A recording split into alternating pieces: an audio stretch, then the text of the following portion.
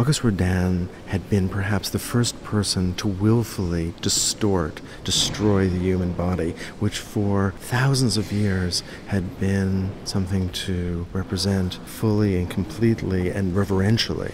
But to do that in sculpture meant to refer to the ancient Greek sculptures and their fragments.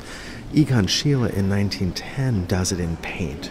It's a remarkably radical image. We're looking at the seated male nude, a self portrait by Egon Schiele from 1910 in the Leopold Museum. Schiele is only 20 when he paints this. It's a really large square canvas, and he presents this figure himself, his body, with his feet cut off and his hands tightly wound, stretched across diagonally on this empty white background. So the hands are so wound, as you said, that you can't actually see them. So he is simply his head his torso, his limbs, without the parts of the body that we grasp the world with. He is literally floating unmoored. The expressiveness of the body reminds me of Michelangelo, the way that Michelangelo used the body to express emotion. But instead of the musculature, the heroism, the way that Michelangelo would imbue a body with divinity through its power, here we have a body that is virtually emaciated, that has been attenuated so that it almost will stretch and break break. There is a delicacy and a sensitivity here.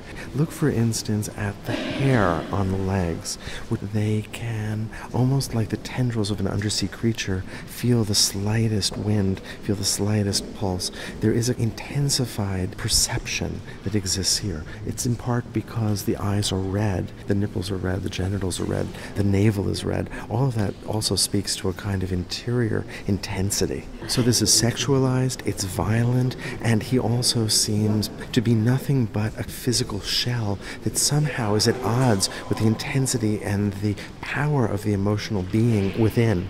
It's amazing to me the way that Schiele took himself so seriously as a subject for art. I mean, if you think about art history, its subjects are religion, the aristocracy, princes, kings.